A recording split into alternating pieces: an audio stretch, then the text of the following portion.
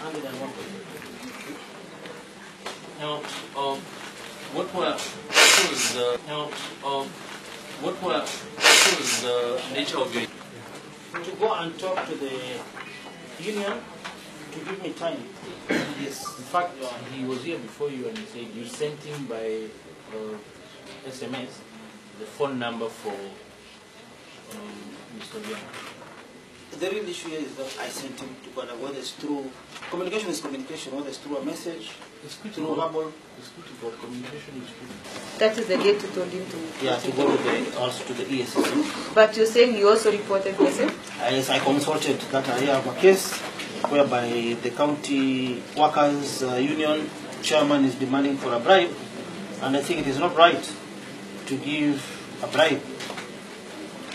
So, did you ever get an opportunity to ever meet these union officials?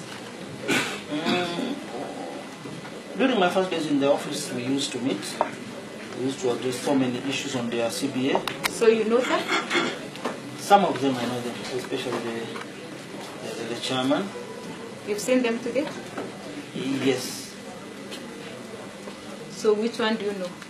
I think the guy on the from where I'm seated on the right, holding a pen next to the black bag, So that is the who?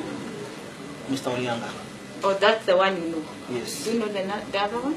The other one I don't know him, but we've been having meetings with other union officials. Anyone else? Your Honor, I do not offer for bribes, but anybody who asks for a bribe from me, it is known what we normally do, Your Honor. I did not offer, Honor.